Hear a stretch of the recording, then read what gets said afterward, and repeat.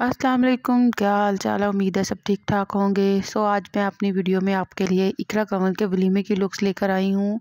सो थोड़ी बहुत डिटेल्स हैं, इनके बारे में मैं आपको दूँगी। सो आप लोग देख सकते हो जैसे कि स्क्रीन पर पिक्चर्स चल रही हैं। इकरा कंवल का ड्रेस बहुत ही ज़्यादा खूबसूरत और वो बहुत ज़्यादा प्यारी लग रही थी। और इनका दुपट्टा टेल में था और साथ में मैक्सी के साथ लहंगा पहना था, जिसका वेट बहुत ज़्यादा था। जो कि इन्होंने अपने ब्लॉग में बताया भी है, और ज़्यादा देखने में भी पता चल ही रहा है कि ये कितना हैवी होगा।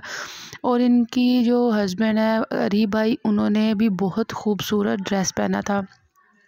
उनका थ्री पीस स्टाइल जो था, उनकी टाई का स्टाइल जो था, वो बहुत ज़्यादा खूबसूरत था। और बाकी बहनों ने सारा थीम साड़ी में था, उनका वलीमे पर उन्होंने सबने साड़ी पहनी थी।